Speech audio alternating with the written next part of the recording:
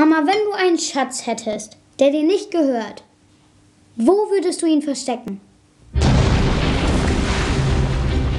Wo bist du denn, mein Junge? Ich hab's gefunden.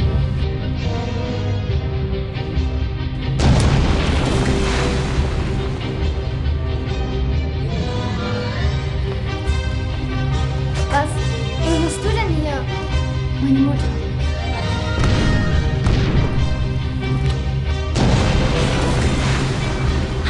Ganz besonders für dich.